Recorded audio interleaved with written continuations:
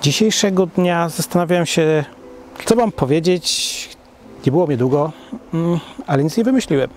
Więc chciałbym Was dzisiaj zaprosić po prostu na zdjęcia. I mi się wydaje, że to będzie najlepiej e, z tego wszystkiego, co mógłbym powiedzieć. Dzisiejszego dnia jesteśmy w górach Wicklow. Miejsce to się nazywa Coronation Plantation. To jest na zachodnich obrzeżach e, gór Wicklow, Parku Narodowego. Ja tutaj kiedyś byłem z kamerą, pokazywałem Wam plener, którym fotografowałem takie drzewo suche i słońce przechodziło przez, e, przez gałęzie. Bardzo fajne, wtedy zdjęcie mi się to udało zrobić i planer był nawet bardzo fajny, było fajnie przewidziane wszystko ze światłem.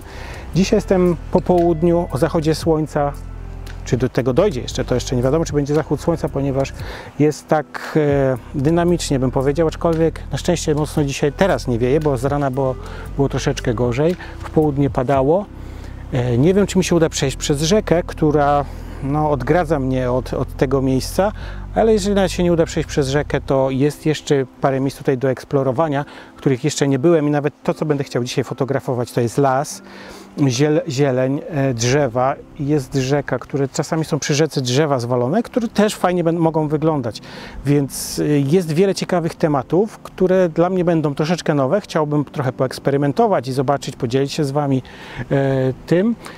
A jak to dzisiaj wyjdzie, to sam nie wiem naprawdę, więc zapraszam na plener w górach Wicklow.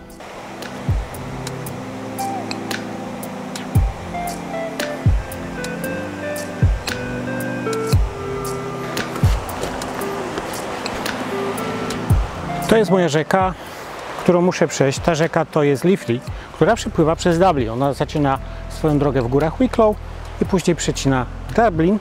Em, tutaj w tym miejscu jest bardzo wysoki poziom wody, więc na pewno nie uda mi się przejść e, nawet po kamieniach.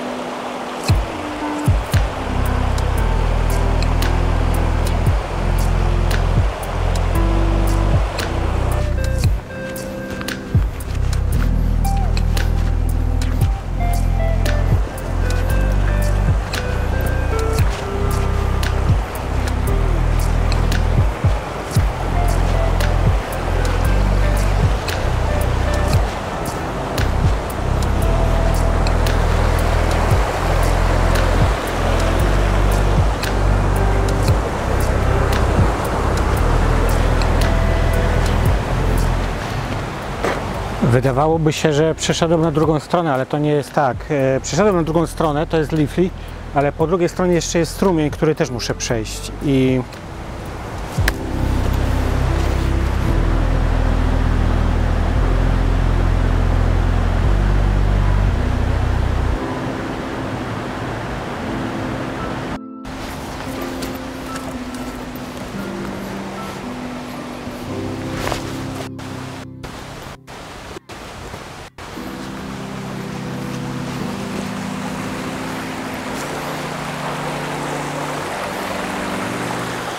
I właśnie o czymś takim mówię. Zobaczcie, strumień, drzewo ładnie wchodzące, mam trochę światła. Hmm, Czy ono zostanie, to jest jeszcze inna sprawa, aczkolwiek wciąż jest dosyć ostre, więc e, do takich zdjęć nawet jest lepsza e, pogoda, kiedy nie ma słońca, jest pochmurno, wtedy to łatwiej z kontrastami opanować. Ale właśnie czegoś takiego szukam, takich pejzaży, które chciałbym dzisiaj sfotografować.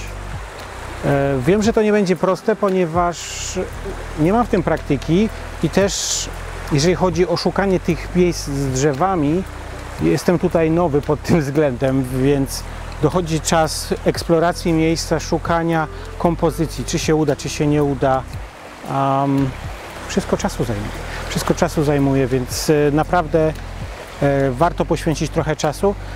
Obstawiam, że zapewne jak przyjadę za drugim razem, będzie mi o wiele łatwiej pod tym względem, ale to, co dzisiaj e, mam w głowie, chciałbym zrobić, chociaż żeby jedno zdjęcie przywieźć, to będzie fajne.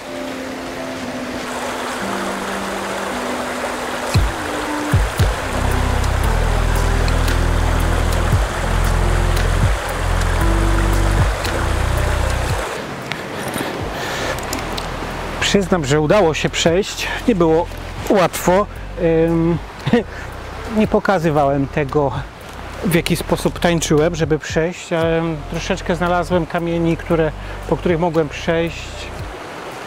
No, dosyć głęboko powiem, więc idziemy dalej. Odkrywać Conoration Plantation. W pierwszym zderzeniu po przejściu na drugą stronę mamy bardzo wysokie paprocie, przez które dosyć ciężko przejść i nie ma ścieżki. Gdzieś gdzie nigdzie jest przez zwierzęta wychodzone i tylko to jest tyle. Mm, Więc muszę przejść jakby troszeczkę wyżej i tam już się zaczyna już trawa, taka do kolan powiedzmy.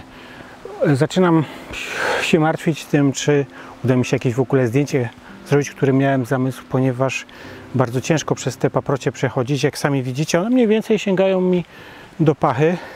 W tej chwili mam tutaj troszeczkę udeptane, więc mam więcej miejsca, ale proszę bardzo, wyprostowane paprocie mniej więcej, zobaczcie, nawet do brody mi sięga, więc będzie to chyba troszeczkę utrudnione niż mi się wydawało, że takie proste będzie fotografowanie dzisiaj. Mm, No co, na razie muszę dojść do trawy, a później zobaczę ewentualnie. Zawsze można zmienić plan działania. Już trochę lżej. E, Tam na górę, jak już wejdę, tam jest tylko trawa, ale ten pas przy rzece z tymi drzewami niestety jest pokryty dosyć gęsto paprociami. E, Po pierwsze, przemieszczanie się i kompozycja, znalezienie kompozycji też jest dosyć utrudnione, ponieważ to wszystko gdzieś tam jest wysoko. Szukanie, żeby dojść nawet do jakiegoś drzewa, to zajmuje czasu. Tak patrzę, szukam, e, bo tu wokoło jest tego dosyć nawet, tylko zaczynam się obawiać. Zobaczcie, jest mnóstwo tych drzew. Tylko się zaczynam obawiać po prostu, że nic z tego może nie wyjść. Też fajnie tutaj jest, że tak się pokłada to drzewo, te gałęzie. No nic, zobaczymy. Na razie idziemy dalej szukać.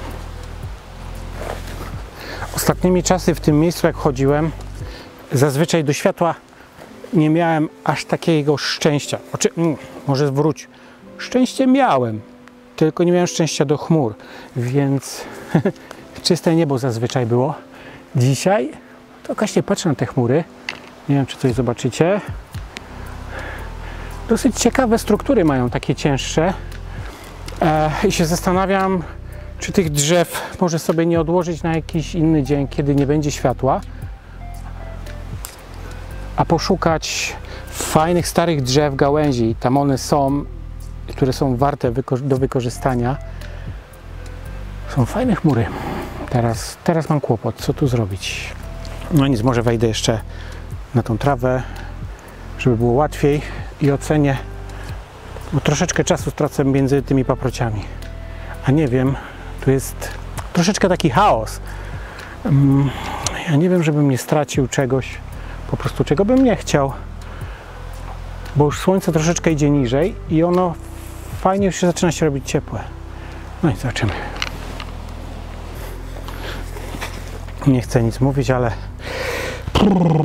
trochę bagno. I to zdrowe.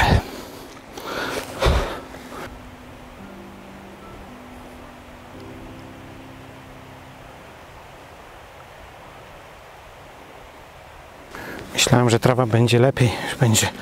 Ale sami widzicie, jest gęsto i nie widzę po czym idę. Czasami są dosyć duże, głębokie dziury, gdzie można naprawdę się po kolana zmoczyć.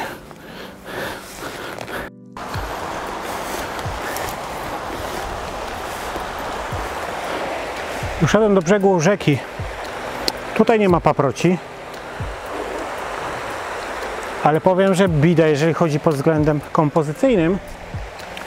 I zaczynam się zastanawiać, czy to dobry wybór, czy po prostu kiedyś sobie przyjść z aparatem w ręku albo nawet z telefonem, trochę popróbować kompozycyjnie i następnie przyjść innym razem, już wiedząc w jakie miejsca próbować robić zdjęcie.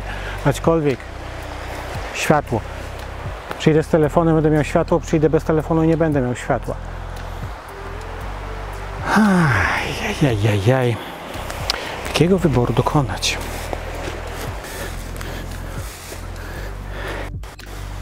Znalazłem tu taki konar leżący. Fajnie wygląda, ale kompozycję znaleźć to może być wyzwanie. Hmm, hmm, hmm. Takich konarów jest bardzo dużo. I tylko teraz po prostu pokać jak go ująć. Oczywiście mam z boku światło, jest dosyć nisko, więc muszę też uważać na to, żeby siebie nie sfotografować, czy też swojego cienia. Oczywiście można to usunąć. W Photoshopie z tym nie ma problemu, ale fajnie by było zrobić coś idealnie, żeby było, albo jak najmniej pracy. Patrzę tutaj w tą stronę, może, może tutaj, a może tam na ten domek, może tam na most, jeszcze nie wiem. Zobaczę. Trzeba przymierzyć. Obecnie w tej chwili próbuję robić kadr z domkiem. On jest tam daleko.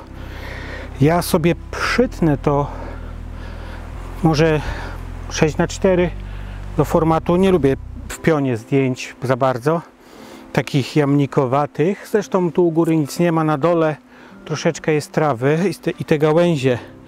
Natomiast yy, tu Chciałbym się skupić właśnie na kompozycji, gdzie te gałęzie są, te drzewa.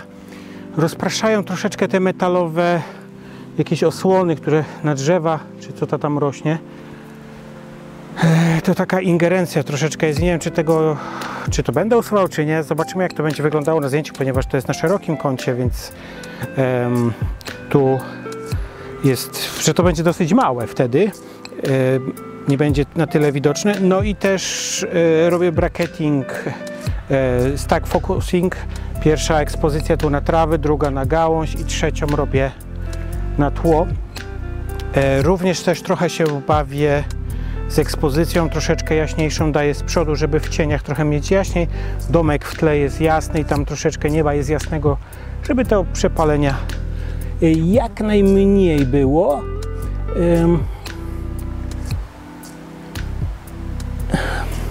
Teraz robię właśnie na gałąź. Ekspozycję. Może troszeczkę jaśniejszą. Zobaczmy jak to wygląda. Dajmy trochę jaśniej. Jeszcze raz. Mam ISO 100. Jedna dziesiąta sekundy F14, tylko że mam filtr dwa stopy. Mhm. I teraz jedna dwudziesta na domek. Autofokus na tło. Więc z takich mniej więcej trzech zdjęć e, powinienem ładnie sobie złożyć kadr.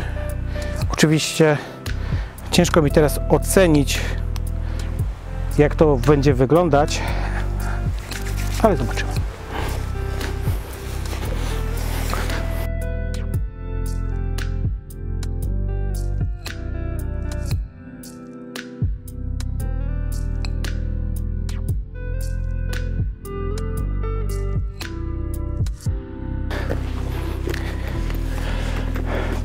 Postanowiłem, że jednak pochodzę po tych gałęziach, tutaj poszukam kompozycji tych takich starych gałęzi leżącej na trawie.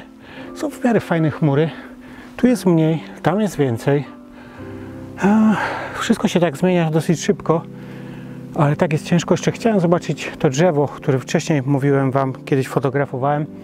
Czy od strony słońca w tamtą stronę jakoś fajnie będzie to wyglądać, czy nie. Pochodzić, pochodzić, popatrzeć. E, tu zawsze co z paroma, parę lat się to wszystko zmienia, ponieważ te drzewa to są stare, gniją, więc wyglądają też inaczej niż jak nawet widziałem parę lat temu.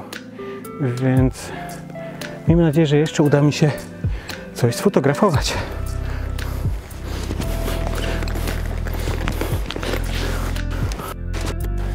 Przechodziłem obok. Znalazłem. To jest dąb. Tak wygląda. Takie trochę małe liście, ma jakieś dziki. Ale fajnie wygląda. Dostaje światło z boku.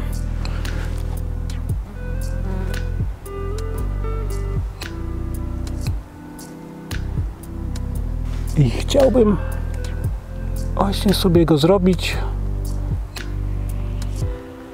w pionie. Bardzo fajnie wygląda. Zobaczmy. Za ciemne. Więc pójdźmy do jednej ósmej. Najpierw i również focus stacking naprzód na trawy. Em, I następnie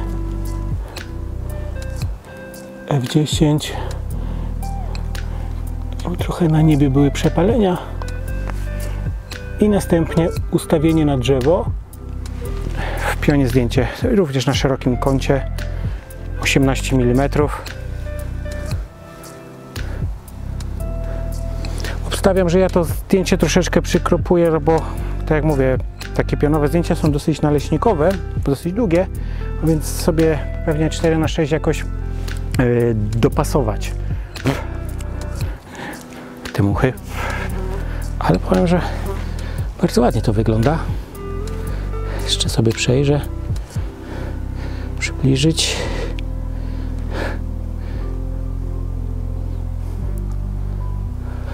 Ładnie światło z boku dostaje.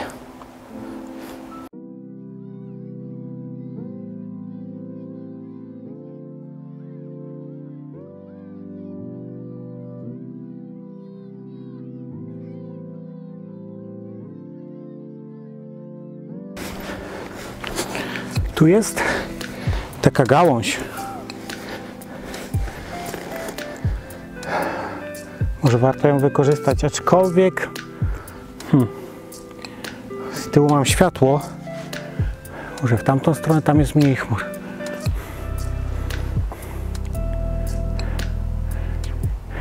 Hmm.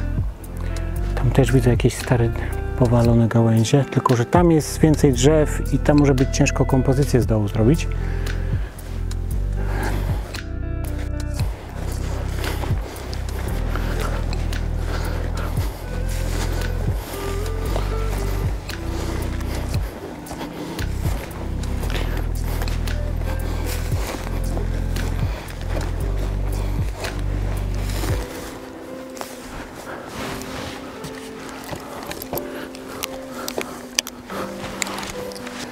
Miejsce warte pomyślenia nad tym, czy coś tu się da zrobić. Trzeba przymierzyć.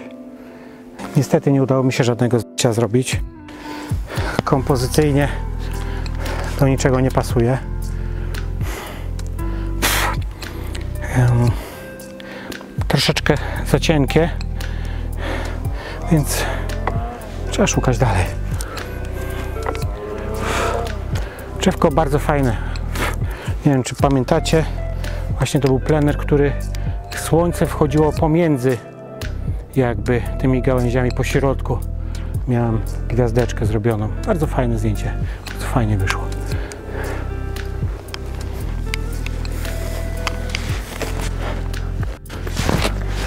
Jak sami widzicie za mną, fajne te drzewa, kompozycyjnie nawet nieźle, tylko jest dosyć ciasno pierwszego planu. No nie wiem, muszę się po, może się pokuszę, bo fajnie to wszystko wygląda. Sami widzicie, idzie od pierwszej, od, od lewej do prawej, czy z waszej strony będzie od prawej do lewej, e, ku ścisłości, więc fajnie to wygląda. Na, na 9, Fo, na 16 na 9 format. Fajnie to by, by wyglądało, tylko pierwszy plan. Może te trawy wykorzystać, a jak nie, to drone time. Czyli przelećmy się, zobaczmy po okolicy, jak fajnie tu jest. Zrobiłem tutaj kilka ekspozycji właśnie z tymi drzewami. Nawet fajnie to wygląda. Musiałem się pokusić troszeczkę też o focus stacking, żeby e, te trawy tutaj z przodu były ostre i troszeczkę jaśniejszy zrobiłem. Następnie ustawiłem autofokus na tył i, teraz, i później e, troszeczkę bawiłem się kilkoma ekspozycjami, ponieważ nie wiem, którą wybiorę, więc sobie wybrałem od jaśniejszej do ciemniejszej. Zrobiłem 5 zdjęć, jeżeli chodzi o ty, sam tył, z ustawionym ostrością na tył, ponieważ e, w tej chwili ciężko ocenić, którą wybrać najlepiej, a najlepiej mieć właśnie kilka, żeby później sobie odpowiednio dopasować. E, nie wiem jak to będzie wyglądało, ponieważ e, fajnie to wygląda, cienie przechodzą przez tą trawę, ale też jest troszeczkę bałaganu w tym wszystkim, więc do końca nie jestem przekonany, czy to będzie akurat idealne zdjęcie. Ale dopiero podczas edycji to wszystko, kiedy się to złoży, można zobaczyć, e, czy, czy to zdjęcie naprawdę będzie coś warte.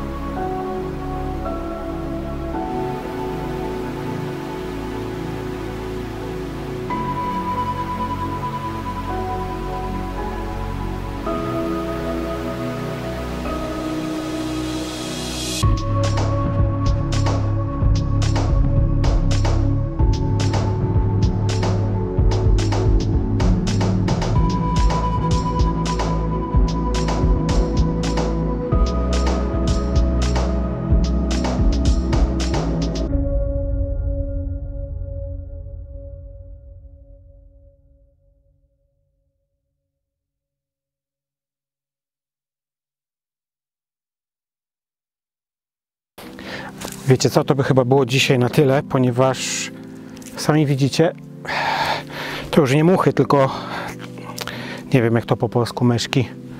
Tu się nazywa to mydżis. Takie malutkie, bardzo uciążliwe, gorsze od komara.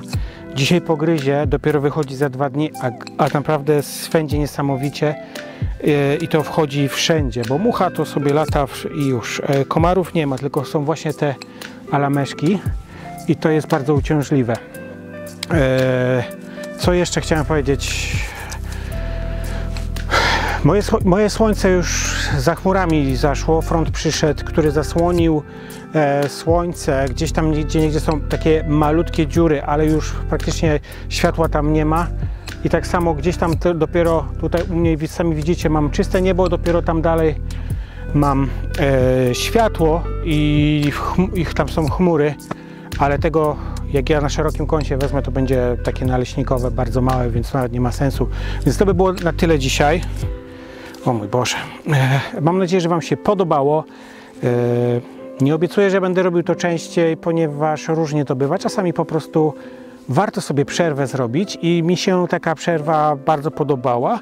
E, Po prostu miałem ochotę coś nagrać, pokazać Wam, wybrać się w to miejsce. Troszeczkę tak właśnie też e, chciałem obejrzeć te miejsca, o których mówiłem Wam wcześniej, ale tutaj po prostu trzeba spędzić cały dzień, żeby poszukać tego, czego się naprawdę chce, żeby to znaleźć. E, No teraz już mi słońce zaszło, jeszcze, jeszcze spokojnie mógłbym pochodzić sobie tutaj godzinę. Ale już słońce zachodzi za chmury, więc po prostu muszę się zbierać, jeszcze przez rzekę muszę przejść. I tyle. Na pewno tu wrócę, bo będę chciał wrócić. E, I trzymajcie się ciepło. Pozdrawiam Was, Rafał Różalski. Cześć.